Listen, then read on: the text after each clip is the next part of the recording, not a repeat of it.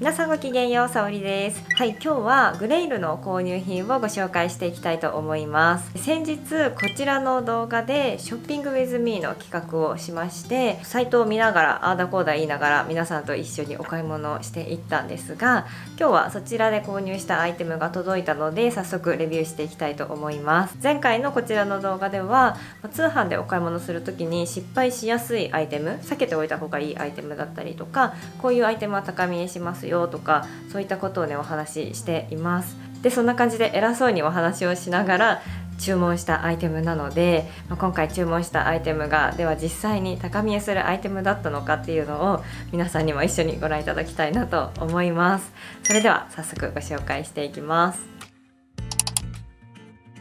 はいではまず1点目が今着ているこちらのニットです。沙織さんこんなの買ってたっけって思われたんじゃないかなと思うんですが私も届いた時にあれこんなの買ったっけって思ったアイテムです。結論から申し上げますと結構思ってたのと違った っていう感じなんですが何が違ったかというと色が全然違いました。商品ページに載っていたカラーがこちらなんですがどうですかね？同じ色に見えますか？明らかにこの届いたニットの方がかなり白くてびっくりしました。であの前回の動画でもお話ししてるんですけど正直色が全然違うものが届いたりとかするのはちょっと予測しようがないので難しいよねっていう話をちょうどしててで実際にそれが起きたニットでした。ただ色は違うんですけど形とかはすごくねいいなと思っていてあの最初この色の違いにちょっとショックを受けたんですけどでもなんかこれはこれで悪くないなってだんだん時間が経つにつれて思ってきました。色がこのサイトと実物が結構違うっていうのは、まあ、いろんな理由があると思うんですけど多分この場合はこのサンプルを作った時の糸と原品を作った糸のロットが違ったりとかして多分色の出方が違ったりするのかなという感じなんですよね。まあ、それにしてもちょっと違いすぎるかなっていう感じはするんですけど糸とか生地って、まあ、こう一塊みたいな感じでこうあるじゃないですかあの、まあ、毛糸とかもこうやって一巻きみたいなのあると思うんですけど、まあ、それごとに染めてるから例えばこのサンプルを作った一巻きとあとこの商品を作った一巻きが同じカラーって言われてるけど違うものを使ったりすると結構色ぶれがあったりとかするんですよね。その色ぶれっていうのはその染める人が違ったりとかあと気温とか湿度とかそういう違いとかでも結構色が変わってくるみたいな話を聞いたと思うんですよね。なのでちょっとある程度ね仕方ないよねっていうことなんですけど それにしてもちょっと違うかなとは、うん、思いますね。ベタっとしたカラーじゃなくてミックスの糸だとちょっと奥行きが出て高見えするよっていうお話をしてたと思うんですがあの色は薄いながらもミックス感はあるのでこんな感じのねカラーになっています。編み方はこんな感じですね。であんまり生地感は厚くないです。なので、まあ、これからの季節だと中にヒートテックを着て着てあげる感じかなと思います。で袖口のリブがかなり長く取ってあって1 5センチぐらいかな。結構しっかりあるのでちょっとポイントになって可愛いかなと思います。でお袖の切り替えはラグランスリーブって言ってこの肩のところから脇にかけてこうやって斜めに切り替えになっています。ここの肩のところに切り替えがないのでこのラインがすごく綺麗に見えたりとかあと動きやすかったりするメリットがあります。で首元はこんな感じで高さが高すぎないのですごくあの首元すっきりして見せてくれるのでいいなと思いました。で着丈はこんな感じで骨盤ぐらいのあの長すぎず短すぎずっていう着丈ですごくね私好きな感じでした。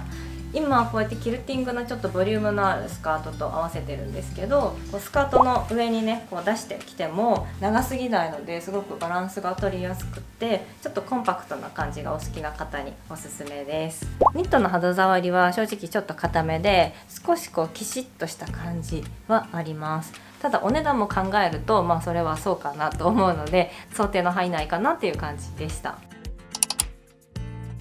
はいそして2点目がこちらのニットです。こんな感じで後ろのスリットがポイントになっているかなりオーバーサイズのニットです。で私がねこれがあんまり似合ってないっていう点は置いといてアイテム自体はすごく良かったんじゃないかなと思います。私はお出かけの時とかあんまりここまでねゆったりしたニットは着ないんですけどあの近所でスーパーに行く時とか、まあ、イブちゃんのお散歩行く時とかそういう時に着るように購入してみました。全体的にイメージ通りだなという感じなんですがちょっとねアップで写していきます。ニットの編み地はこんな感じです。で適度に厚みもある生地なので白でも透け感はあまり気にならないかなと思います。で首元はリブになってるんですがここが高くないタイプです。でかなり肩は落ちていてゆるっとしたね身幅もたっぷりしていてお袖もたっぷりしているシルエットです。でサイトを見た時にこのスリットがちょっとよれててあんまりかっこよくないかもっていう話をしてたんですけど実際に届いてみたらそんなことなくてここがちょっとよれてるのはこの下のリブのところとの切り替えでリブのところの方がちょっとこう収縮されるのでちょっとねこううねっとしてるんですけどなんか嫌な感じのうねり方ではなかったのでそこはねそんな気にならないかなと思いました。きで見るとこんな感じですね、ま、裾がリブになってるのでちょっとこうやって丸い感じのシルエットになるのでちょっと雪だるまっぽいかなっていう感じにはなりますね。普段からねこういうカジュアルなの着られる方とかあと小さいお子様がいらっしゃる方だったり、まあ、私みたいにスーパー行く時に自転車に乗ってくのでだいたいいつもこうタイヤに巻き込まないように細身のこういうパンツを履いてるので冬場はこういう大きいシルエットのニットを上に着るのが私定番なのでそういう自転車ユーザーの方とかあとはワンちゃんお散歩の時とかにもねすごいいいんじゃないかなと思います。カジュアルスタイルとかこういうねゆったりニットが得意な方だったら全然お出かけに着てってもいいんじゃないかなっていう感じのかなりお値段以上に見えるニットなんじゃないかなと思います。はいそして最後3点目なんですが今履いているこちらのツイードのスカートです。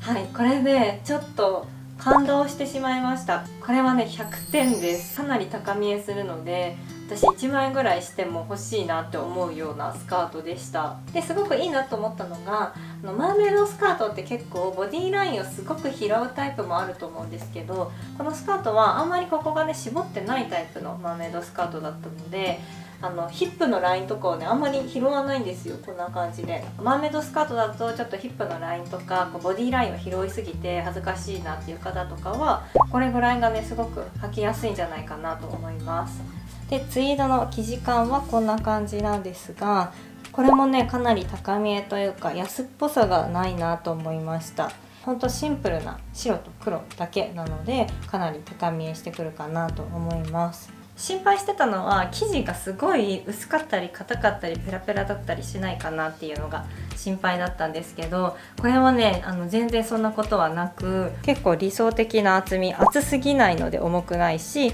でもペラペラじゃないしっていう感じであと生地感も結構ね柔らかい感じなので動いた時の揺れ感もとっても綺麗に出ます。あとこれ裾なんですけど裾がこんな感じでフリンジになってるのもかなり可愛くてポイントになってくるかなと思いますこのスカートはちょっとおすすめすぎるのでなんかオフィスとかでもね全然着られますよねこういう感じだとちょっときれいめスタイルを好きな方とかあのちょっとお姉さんっぽくしたいなっていうお若い方とかも良さそうだなと思うしもちろん大人世代の方が来ても安っぽく見えるポイントっていうのが全くないスカートかなと思うのでかなり自信を持っておすすめできるかなと思うので是非ねチェックしてみてください。